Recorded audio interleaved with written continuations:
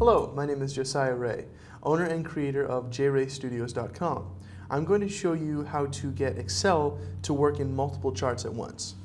So I'm going to open up Excel, and I've got these two columns of numbers here, and these are the numbers I'm going to use to generate the charts. So if I select the numbers, go to Insert, and let's insert a column. So column chart. So there we go. Now I'm going to insert another kind of chart. So we'll select the data again, say insert, and let's do a line. So line graph. And there we go.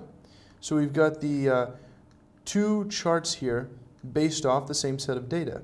Now if I take this set of data, and let's say instead of having this change all the way down, I'm going to have the last set of numbers all be fives. You can see both charts dynamically change to reflect the change in the original data.